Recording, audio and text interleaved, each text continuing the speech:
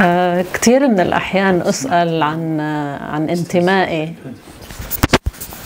هل انتمائك آه، يعني بعرف نحن نفتخر بأصولنا. لنقول أنا مثلا كتفاحة من شجرة تفاح. بضل أعرف هذا الأصل شجرة التفاح.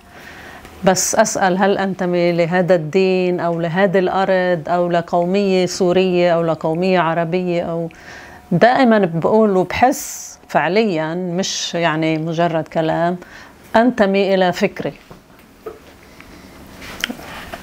فعلا بحس أنا أنتمي إلى فكري لأنه قادرة أكون ديناميكية مع فكري قادرة أتحرك معه قادرة أحس هاي الهوية اللي أنا بحبها اللي عم تتطور.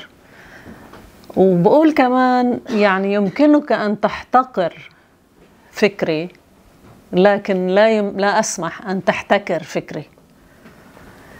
فلما بنحكي عن حرية التفكير وإذا بدنا نعمل مقياس آه، حقيقتها أو مقياس ماهيتها الجوهرة هل هيدي عن جد حرية مفكر حر أو حرية بالفكر؟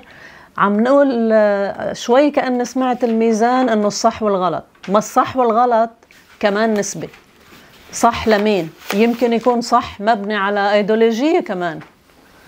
في كتار مفكرين حرين بفترة ما نبغوا كانوا منبوذين أو كانوا ينظر إليهم إنه هن جايين يخربوا هن جايين غلط. بعدين تبين إنه صح. فهو إذا يعني بنختصرها بالتفكير الأمريكي المبسط think outside the box. حاسب حالك آه، انقد حالك.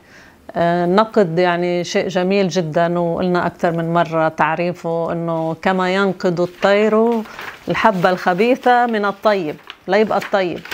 فنقد نفسنا عدم ال assuming الاسsumptions إنه اللي راح يقدمه الشخص الثاني صح أو غلط أو أقل أهمية أو مهم.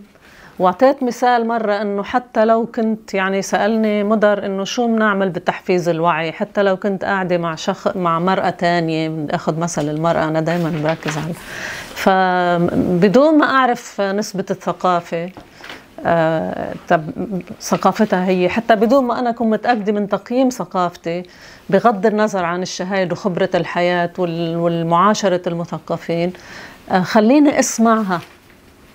لما بنسمع بعض أول خطوة على درب التحفيز إنه نسمع بعض ونفكر بنفس المشكلة. لأنه شو هدف الفكر الحر إذا ما بدنا نحل مشاكل؟ إذا ما بدنا آه، نغربل لنحسن بدنا نحل مشاكل يعني. ف هذا يعني باختصار اللي كنت بدي أقوله.